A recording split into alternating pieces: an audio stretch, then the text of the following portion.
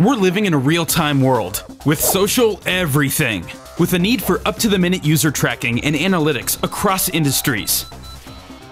From e commerce, security, through financial services, and even web and IT analytics and monitoring.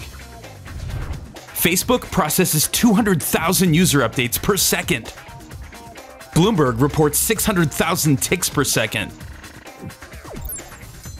Amazon reports 50 million active users on Cyber Monday alone. Just imagine the number of searches and clicks. Let's zoom in on what this looks like.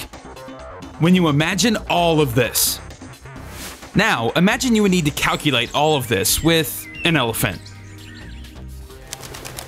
This is where your batch system breaks down. Slow processing time, slow write time, and slow I.O. A heavy process of crunching the entire set of data time and time again. Literally Sisyphean. Whoa, overload.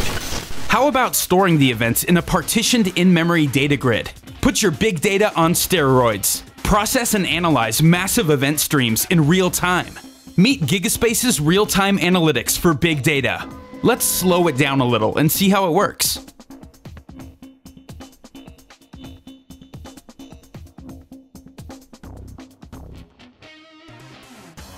It's fast, it's scalable, it's transactional, it's highly reliable and keeps data consistency.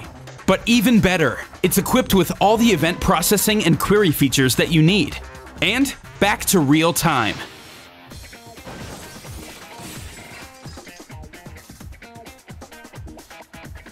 It can even mirror your data to any big data store at your own pace, which is great news for your elephant.